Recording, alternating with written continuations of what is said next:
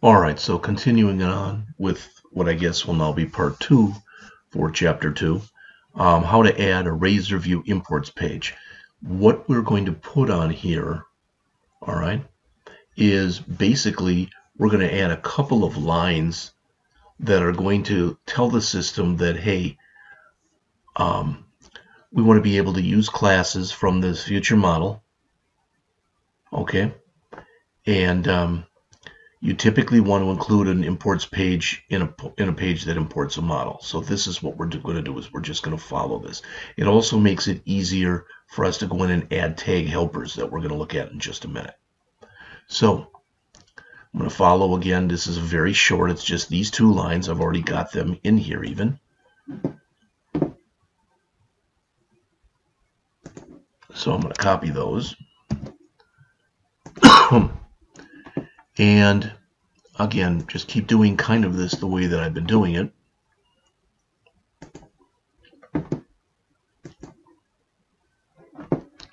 So we finished that model, so I can close that.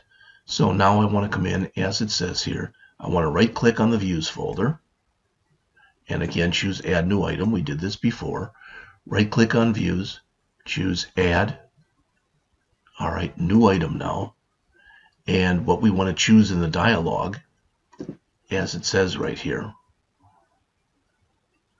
We want to select the installed, right click on views and select add new item. In the resulting dialog, select the installed ASP.NET Core category.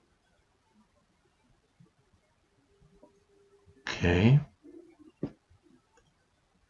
So look at here general. We want view imports. It's got to be in one of these. It's not going to be in here, I don't think.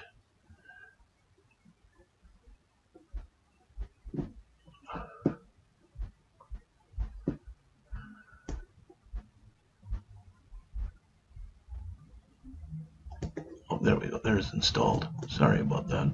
So in installed, we want to choose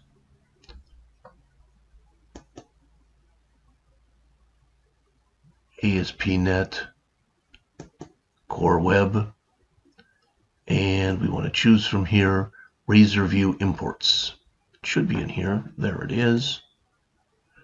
It's automatically named for us, so I'm going to click Add. And we're going to put in those two lines. Okay, so again, as they mentioned in the book here, this import page makes it easier with these two lines to let the other files in the application know that we're going to be using model classes and tag helpers. And as the author mentions right here, most apps include one of these Razor View import pages because it makes it easier to work with model classes and tag helpers. Just repeating what I just said. So file, save all. Check and make sure that I am taping.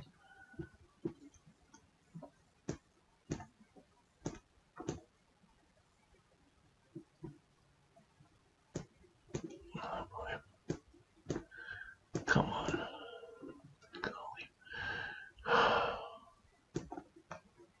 There we go.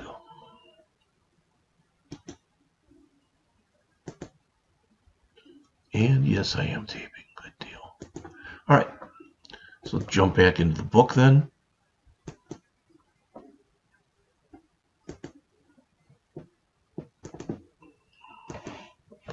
All right. Now it says here you use a strong or an at model rather directive to bind the model to the view, also known as a strongly typed view. You are creating basically a relationship then between the model and the view. All right. This is going to allow us to use the ASP tag helpers to be able to bind this stuff in here. It says in particular, the tag helper binds the three fields that we care about, those being monthly investment, interest rate, yearly interest rate, and years to their equivalents that are going to be in a form. So in other words, it's allowing the C sharp to talk to HTML. As mentioned here, the asp-for tag helper automatically is going to set all this up for us. There's other ways of doing it they mention here, but this is the recommended way of doing it. All right. Now there's a lot of stuff in here. I don't want to get into too much stuff. We're going to be running through this throughout the book. Okay. All right. So right now, what we had had um, in our future value model was just those three, literally all that we had in there were those um, the the three things that we looked at before. All right, so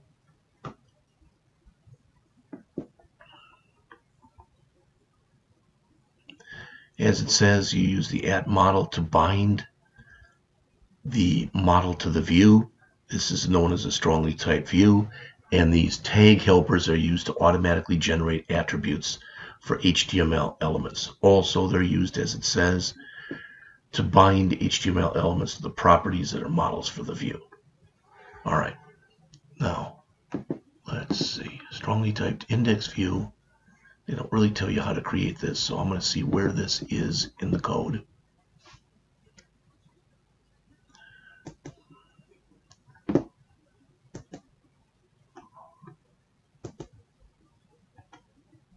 All right, that is our index dot CSHTML is what it looks like. So let's see if we have that now. Our index.cshtml should be the file that was created for us automatically when we created the home controller. We no longer need this file. All right, so home index.cshtml. So you can see what's in here now. This is the page that runs or ran when we created the program earlier. So I'm going to remove this and I'm going to replace it with what they had in the book. Now, what's the difference? Well, there's going to be a lot. So let me do a file save all and let's run the program. So remember previously we just got that link. Well, this is what we have now. There's no CSS that has been applied to it, but that's okay. All right, and we've got that initial value. Now you'll notice Mary's not on here, but Mary's not on here because we're not printing out a name. All right, but that $99,999.99 that has been um, formatted in currency, we did that earlier. But I believe if we put in anything here right now, nothing's going to happen. See that? It just clears. Okay and that's fine. So let me stop the run, save this, and we should be able to close this for now. Jump back into the book. It's going to be really imperative that you read every chapter. This is just a new animal that we're working with here. All right. now, handling get and post requests. All right one one of the things we're going to be doing in here is we're going to be putting in this stuff here. This is called decorating a method. You decorate in a lot of ways. This is letting the system know that for the uh, get, basically all that should happen here is the future value should be set to zero, and then we return it. And for post, all right, it should call calculate future value. What is going to happen here is this is going to go in and it's going to work in conjunction with the model to check and make sure that everything is the way it should be. We're going to decorate the model in a little bit too and put add more stuff to the model than was there previously. All right. And we're going to make sure, for example, that the monthly investment, I think it's got to be between like $100 and 5000 that the um, uh, the yearly investment rate has got to be between a tenth of a percent and 10%, and that the number of years is like between 1 and 50. And what this is going to do then is it's going to verify it. It's going to say, hey, if all those made sense, if all those worked, then calculate the future value. So as they mention here, a common pattern for doing this is to use the same URL for both your get and your post. You should know this because we did this last semester. All right. Typically, as it says, the get is used to display a blank input form like we have right now. Then a post is used to handle it after you submit the form. You can overload action methods, which is what we actually did there because the signatures or what's in the parentheses are different. Typically, you're going to find that for the get, it's going to be empty, and the post will contain the one or more parameters. Finally, as it says there, when an action method is, accepts a model object, the model view controller architecture uses the data stored in the get or in the post to set the properties. All right, so first we talk about get. And once we do this, it should look like this. Then after we put in a value there and there and there and we click calculate, this should change. This is a read-only value, basically. And it should run and look like this. So we'll run this one later. This is page 63. And we'll try to make sure that these are the values that we get. So think about this. This says if we do $100 a month, all right, times 12 months would be $1,200, times three years would be $3,600. And at 3%, we're going to make $171.46 over those three years. So I've already mentioned this, but I want to say it again. As it says here, when the future value app begins, it sends a GET request to the index action of the home controller. All right. When you clear, when you clear the link, it sends the GET re request to the index action of the home controller. So basically, it's making sure you're starting with a clean slate. When you fill in everything and you click the calculate button, the app sends a post request. If, as it says, if the form has been filled out correctly, Okay, it'll take those three values that we set in the model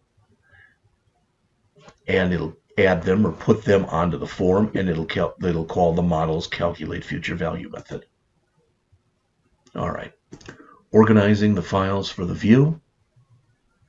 Okay, it tells us that we should have in our WW root, we should have a um, CSS folder and inside of it, it should have a file.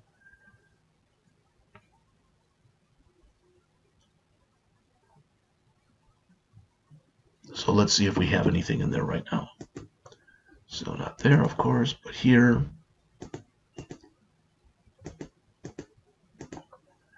All right, so we've got our www root, CSS, there's our site.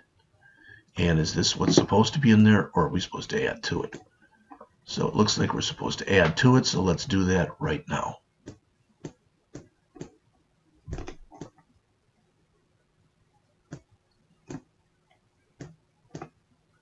This thing is hard to move once you get it in there, so.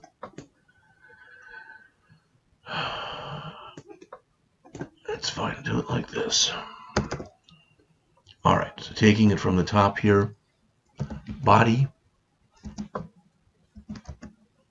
We want some padding. Font family.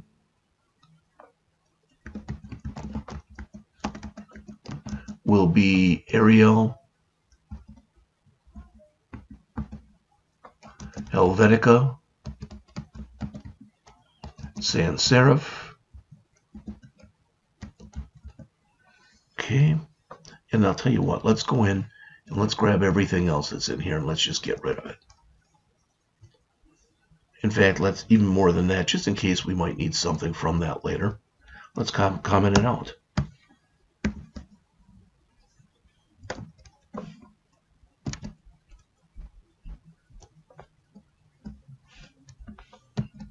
So there's it out. So now we've got just the body set up.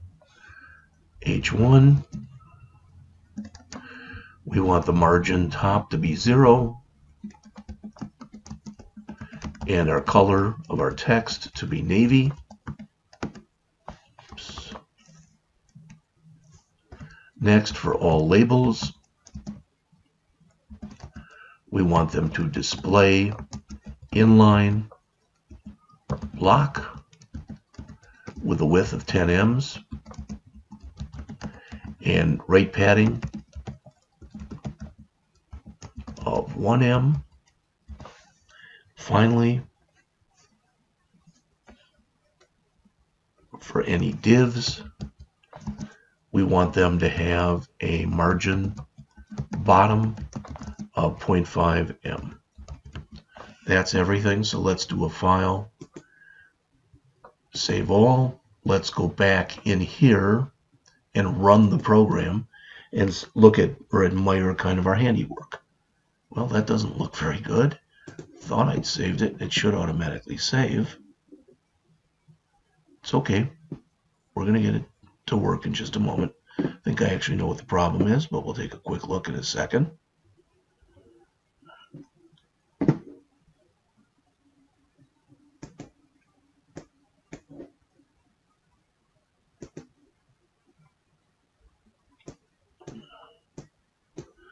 Oh, I don't know how to move this thing around when I need to.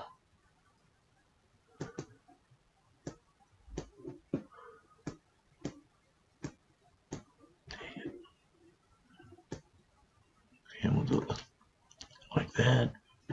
Again, it says the style sheet provides a way to store format. You know all that stuff. So let's come in here and do a file. Save all. I thought we did that previously, but we may or may not have. So there we go. Let me grab this and go back again. We're almost finished with the chapter. So we want to add a razor layout and a view start. Might be why we're not getting everything we want. So we want to right click on view shared and add a razor layout. Click the add button. All right. As it says, this razor layout will provide a way to store elements common to multiple web files in a single file. The view start lets you specify the default razor layout of the razor views of the web app. So here's the code. So we will need a views shared layout and a views shared start. The good news is I already have both of those. All right.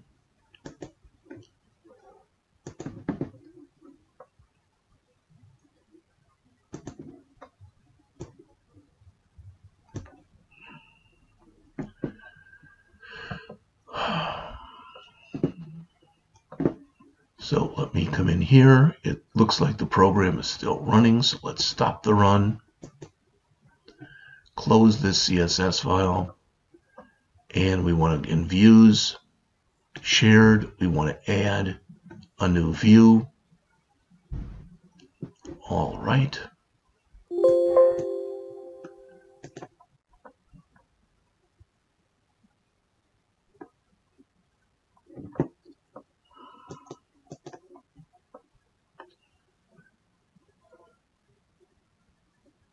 Right, so we want to again follow these steps that are here.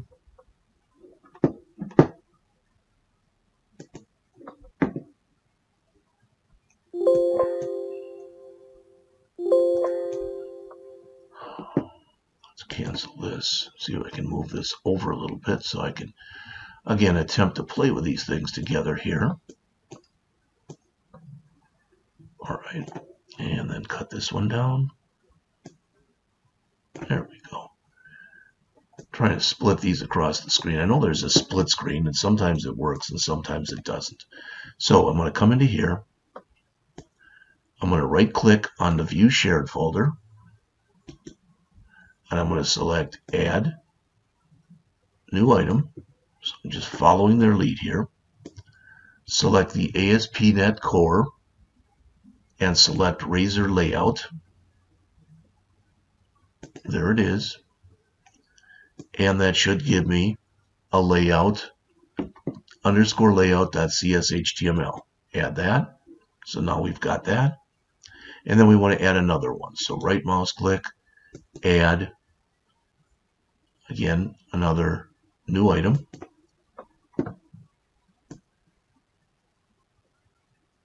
And this goes in the views folder. So I did that incorrectly. So right click the views folder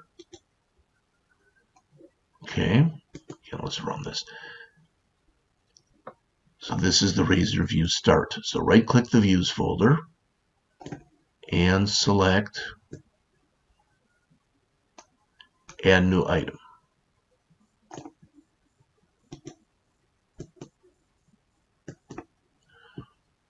All right, again from the core here, we want to we want to choose Razor View Start and click Add. Okay. And again, if you need a little more, they do mention here that the Razor layout, the one we did first, provides a way to store elements common to multiple pages. And the Razor View Start lets you specify the default layout. All right. So here's going to be the code. So again, let me cut that down and see if I've got it correct. So doc type, etc., etc. View bag title. Well, here's the thing that we're missing. We are not, we do not have that style sheet in here. And we, I think that's about all we don't have. So let's put that in. So link rel equals style sheet. You've done this countless times before.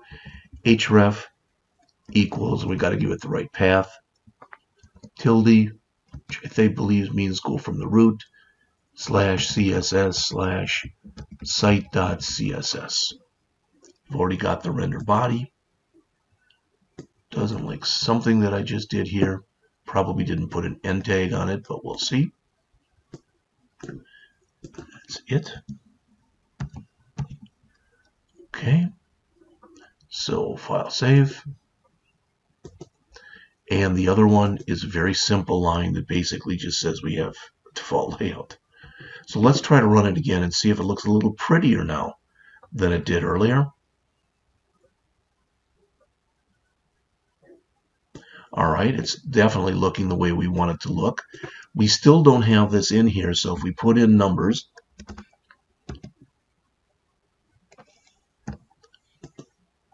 it's still not going to do anything because we are not calling, all right, we are not calling the, uh, the model's future value. So this doesn't do anything. All right, we're going to do that next. And that's about all we have left to do, I believe, here. All right, about 10 pages left in the chapter here. So we just added the razor view. Oh, we didn't do that. Let's do that right now. So it says the next figure shows how to add a razor view that works with the razor layout and view. All right. So to do that, you select razor view item from the add new scaffold item dialog instead of razor view empty. So we're going to do this. All right. And we'll look at the code. This is going to set our title. This is going to set our layout. It says the page is using a hypothetical razor layout named underscore layout calculator designed especially for all calculator pages of the web app. Says for now, that's what you need to know. In chapter 7, we'll talk more about it. All right, so let's bring this up so we can try to finish this chapter up.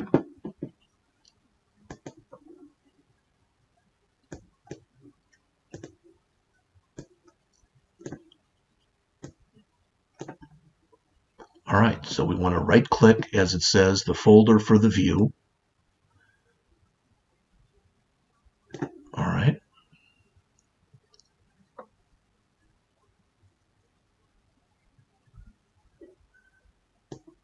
Use home, for example, and choose add view. I'm hoping I'm doing this correctly. We'll find out. Add view says using the add new scaffold item dialog from 2.5 to select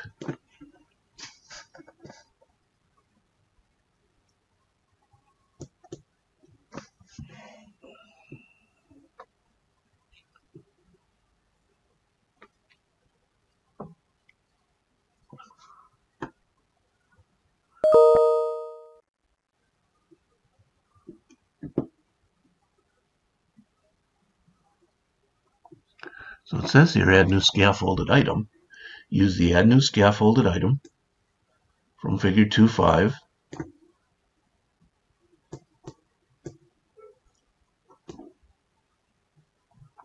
and it says there to select razor view and then click add. Well, there's razor view right there and then choose add. There we go. That's what we wanted was this. The view name I'm going to just use what they have here. So the view name will be index. The template will be empty without model. We'll have the user layout page. Okay. So I want to make sure that's exactly the way that this should be.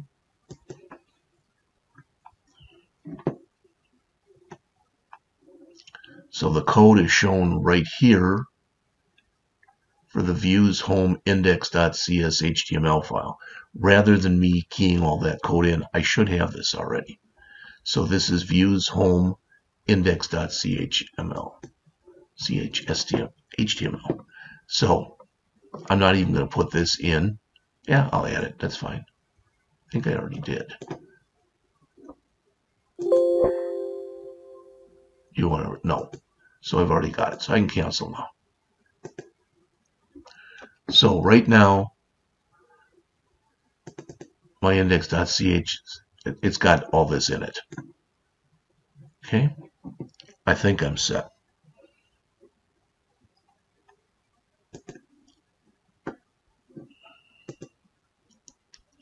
The last thing that we have to do in here is we've got to add our, the code to validate our user input.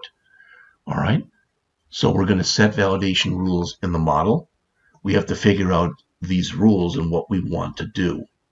So you'll notice how this changes. Previously, we only had in this line for the monthly investment, this line, oh, I'm sorry, this line for the monthly investment, we had in another line for the yearly interest rate and another line for the years. But we want to change that so it looks like this. So previously we only had this line here and this line here and this line here. We had nothing else. All right. But I do have the finished product here. Okay. So let me go and grab that.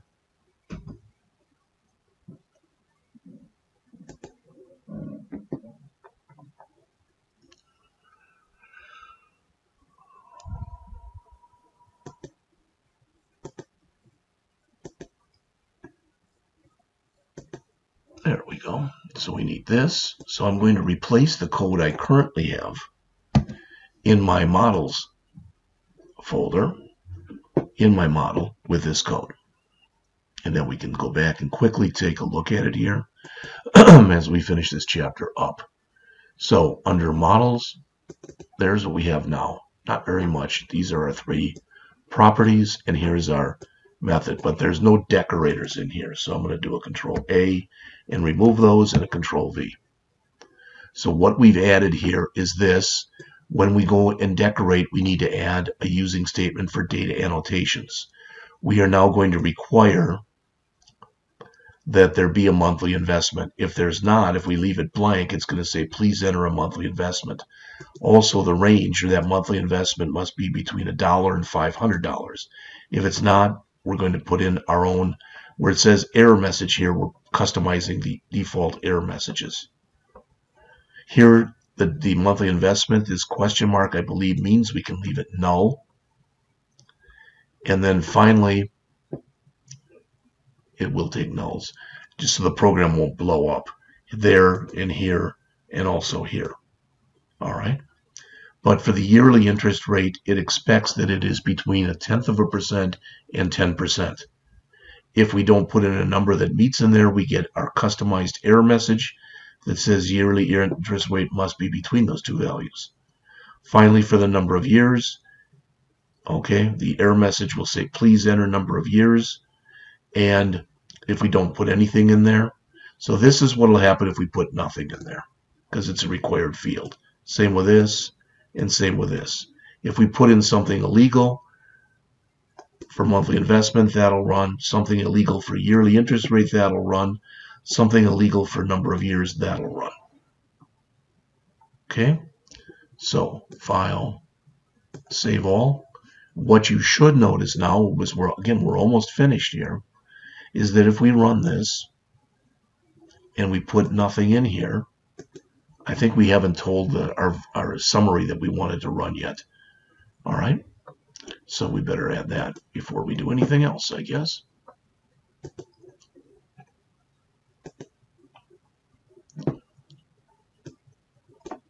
As it says, when you use a property with a nullable type in a calculation, the result must be assigned to a nullable type. That's that question mark that's in there. If a method returns a nullable type, the return type must be defined as nullable as well. All right, so here's where we have to check the data validation. So as it says here, this is what we are going to end up putting into all right, this is our post right here. And I believe what we need to do in the end is I need to come back here because I've got the home controller. I've got the actual source code for that. So I can now close this. I can close this. I can close this. I can close that. And here's our home controller. So I'm going to replace the current code in the home controller with this code and run the program again. So let me close everything I've got open here. Close, close, close, close. You bring up the home controller, which now has just this. Remember that was set up for when we originally ran the program. Now we've come in here.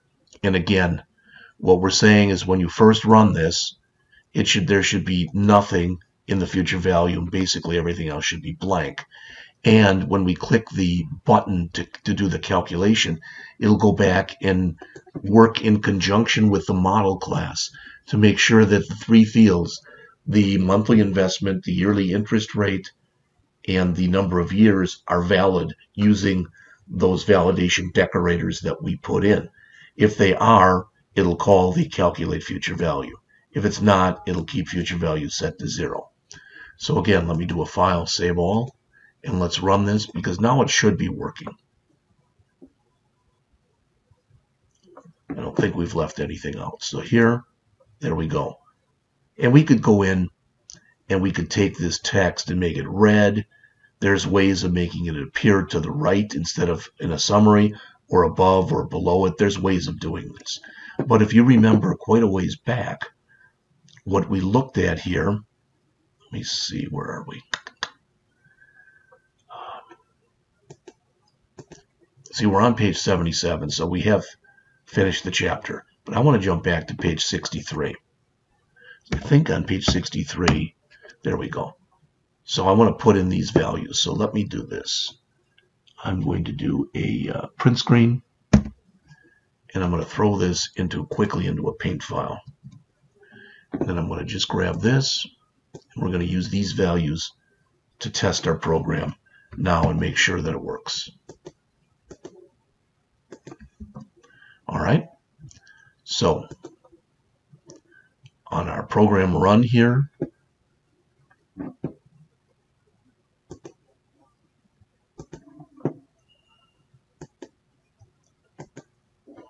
there.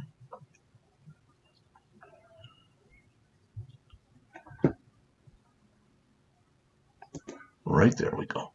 Okay, so we want to use, let's knock this down like that. And whoops, not there. Bring that over like that. And we'll bring in this. Cut this down as well. And we're going to use both of these. So here we'll have 100. Here we will put 3 and here we will put 3. Now we should get, if this is correct, $3,771.46, and indeed we do. All right, the clear works. So to my knowledge, at least, everything is now working in here. All right, hopefully that helped. I know basically all I did was just redo what was in here. When I come back, I'm going to go over chapter 3 very quickly, probably in 15 minutes or so worth of time. And in there, we will be talking about uh, Bootstrap, be a lot of review. And then we're going to go in and I'm going to start on what we're going to be doing for the test. And I'm going to walk through that again very slowly. So I'll be back for that in a few minutes.